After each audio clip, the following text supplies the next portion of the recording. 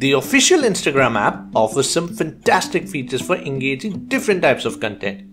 However, it restricts users from downloading media, viewing stories anonymously, and often forces users with suggested posts and ads.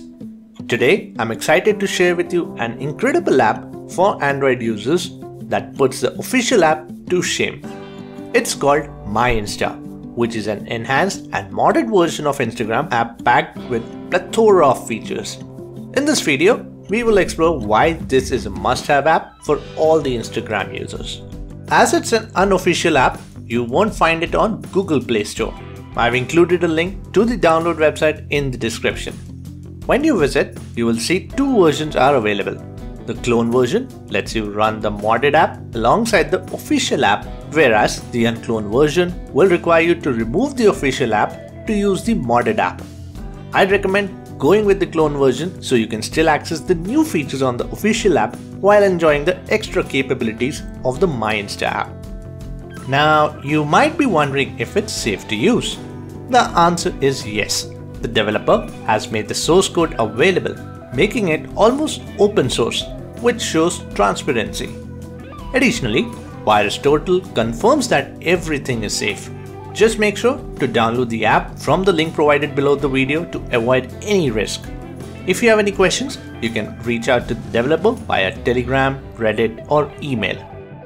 Now let's dive into the amazing features of My Insta app. At first glance, you'll not notice anything different to the official app. However, the new additions are hidden.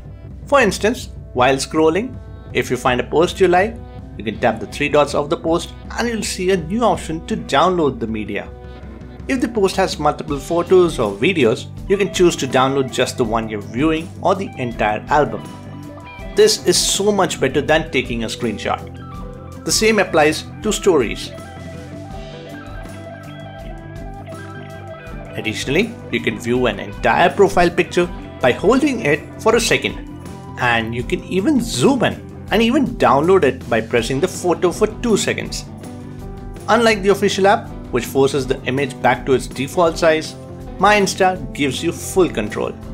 Let's explore further. Go to your profile, tap and hold the three dots in the top right corner to access My Insta settings. There's a lot to customize here, so let's focus on the key features. First up is Ghost Mode. Here you can enable settings to hide your typing and seen status in direct messages. Also, you can browse stories and live streams completely anonymously. These features can help you check out the content of a person or page without letting them know you viewed it. The downloads section is all about giving you control over your media. You can organize your downloads more efficiently by sorting media by username. Also, you can change the default download location, allowing you to store media files in whichever directory you prefer. The next section has got to be one of the important ones. You can disable intrusive ads and prevent cache files from piling up occupying more of your storage. These features are really really helpful to improve the experience. The option to disable analytics sharing is also available, offering an extra layer of privacy.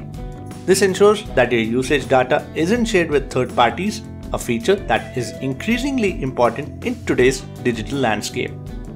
If you're tired of endless stories and reels cluttering your feed, Distraction Free is the perfect place from where you can block posts on your home tab, hide stories from people you follow, disable reels on the reel tab, and more. One of the frustrating aspects of the official Instagram app is that it compresses all kinds of media, showing you weak quality of images and videos. My Insta solves this problem by allowing you to improve the photo viewing and video viewing quality. Other settings like disabling story flipping and enabling follower indicator are optional, both of which can be customized according to your preferences. Finally, under miscellaneous section, you'll find a few features that improve the app's experience. As shown earlier, the ability to view, zoom in and download profile pictures feature can be enabled from here. Another is the copy comments feature it's temporarily disabled by the developer in this version, but worth enabling because when it returns, it will allow you to copy any comment from any post with the help of double tap. a feature sorely missed in the official Instagram app. Lastly, you can adjust the story ring scale factor, which resizes the stories icon for easier viewing. A scale factor between 1.25 and 1.35 is a good range to experiment with. There's also a developer mode, but it's not recommended unless you're well versed in the technical aspects of the app.